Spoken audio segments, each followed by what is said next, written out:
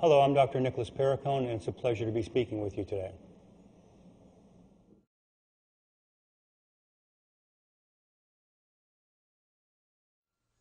If we combine these, you know, do we have all the answers? And I'm saying that we might. We might have all the answers. So I want to talk about one more therapy before I move on to some other topicals. And this other therapy is using forms of light, light on the skin.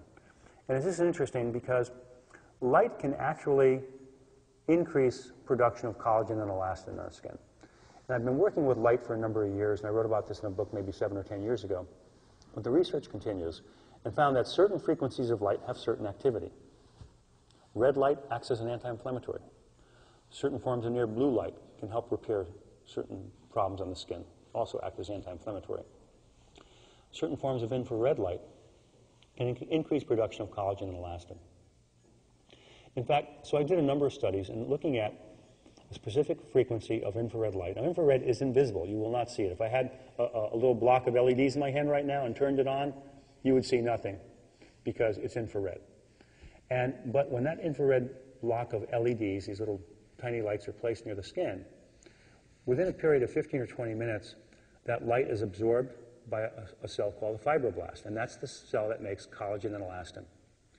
And it can stimulate these fibroblasts to produce more and more youthful collagen and elastin.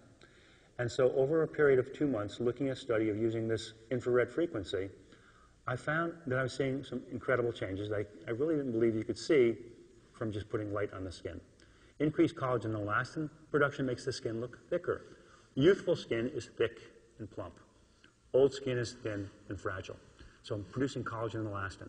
But in addition, this new collagen and elastin is pulling the, the face and the shape, just like DMAE does. It's pulling up, and it's pulling up eyelids that are redundant. And I'm seeing lines go away, and I'm seeing scars somewhat fade, all from this activity of infrared light.